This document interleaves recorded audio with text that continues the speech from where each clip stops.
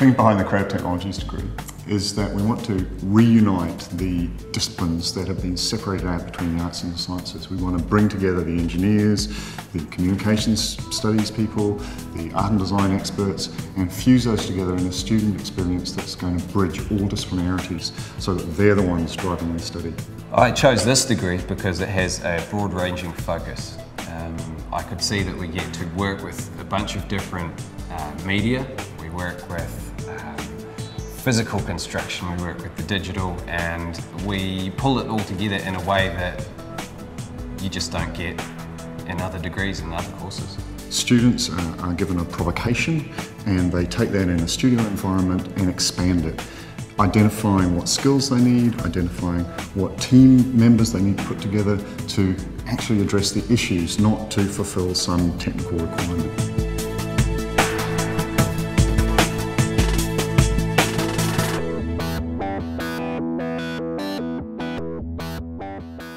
I chose to do this work at AUT, I think because of the excitement of many disciplines working together.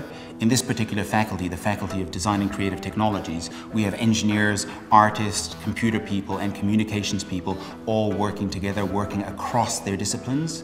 And I think that's one of the things that, A, that is unique about AUT. People have to kind of learn to speak and work with people who are quite different from them. Um, you know, a designer has to understand what the IT person is talking about. Uh, the IT person has to understand the marketing guy. Uh, and, you know, they, ha they have to have a kind of common understanding of, of where their projects are going to lead. The teachers are really switched on.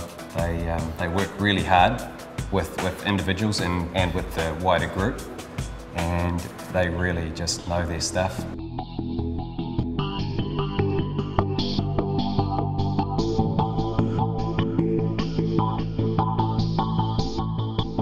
We are seeing both at the same time divergence and convergence of kind of ways of thinking and new technologies. I think that uh, what our program offers students is the, the opportunity to kind of find their own individual way of working, to work they can choose to work by themselves, or more importantly, they can choose to work in collaboration with other people. And I think this is a key skill in the modern world. I think freedom of mind is a fundamental principle on which we are learning.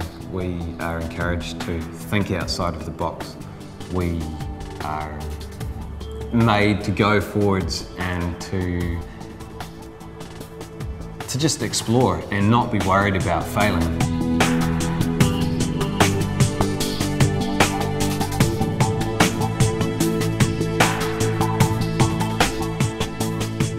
AUT, I feel, is very future focused. One of the first things they said when they were telling me about this degree was that when people of my generation go into the workforce, a lot of the careers that will exist then don't exist now. And rather than getting us ready for a specific career, they're giving us the tools to be able to pursue whatever careers might exist in the future. I would recommend AUT and specifically the Bachelor of Creative Technologies program to anyone who is really creative and keen to explore the possibilities.